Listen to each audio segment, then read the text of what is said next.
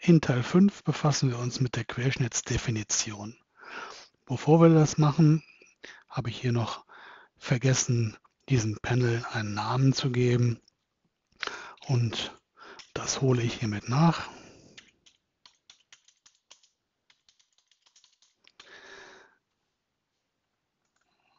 So, haben wir das auch erledigt.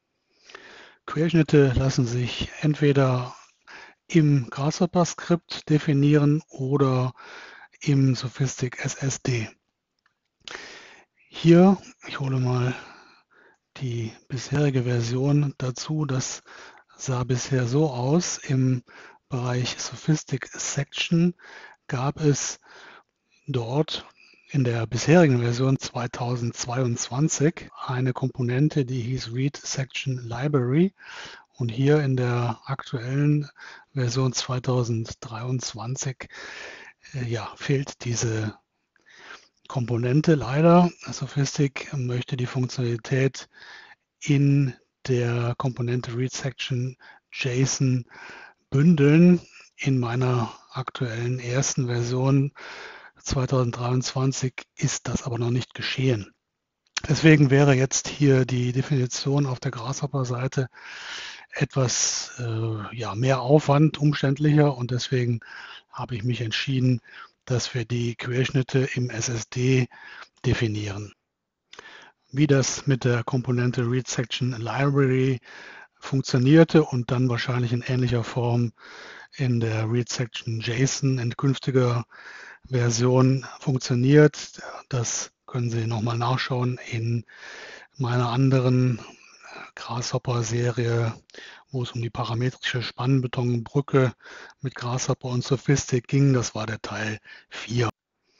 Wir gehen hier somit den Weg über den SSD. Ich habe ein komplett neues, leeres Projekt angelegt, habe mich für eine Norm entschieden, das System auf 3D eingestellt und alles so gelassen, wie es angeboten wird.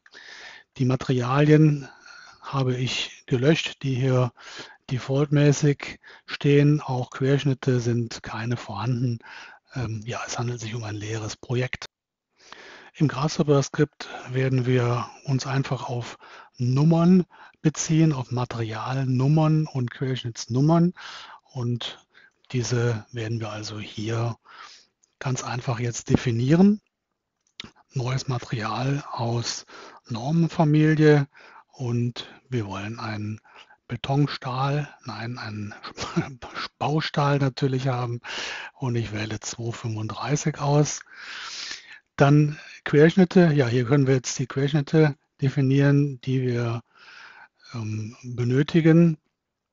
Also Stahlbauprofil natürlich und dann, ja, Nummer 1 soll äh, unsere Stütze werden. Da stelle ich jetzt mal ein HIB ein, HIB 160. Okay. Dann wieder neuer Standardquerschnitt, Stahlbauprofil Nummer 2 sind die Rahmenriegel. Hier wähle ich IPE Träger aus 270 zum Beispiel.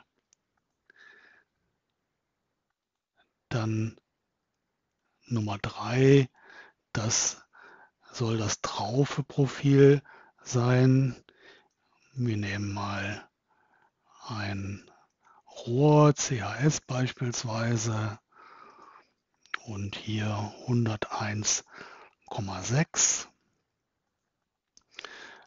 Dann brauchen wir das First-Profil. Hier gehen wir ja, nehmen wir von mir aus ein HEA 140. Jetzt kommt das fünfte Profil. Das werden die Sparren sein. Hier gehe ich auf IPE 140 und das letzte das sind die Diagonalen und hier will ich einen Stab Durchmesser 12 auswählen. Somit haben wir die Querschnitte definiert und können hier einmal sagen, berechne bis Querschnitte und gehen dann hier auf den Report der Querschnitte und können überprüfen, dass die Querschnitte alle in der Datenbank angelegt worden sind. Natürlich können wir später auch mit den Querschnitten spielen. Das heißt, wir können sie verändern und anpassen. Im nächsten Video werden wir im Grasshopper-Skript die Strukturlinien definieren und dort die gerade angelegten Querschnittsnummern zuweisen. Bis zum nächsten Video.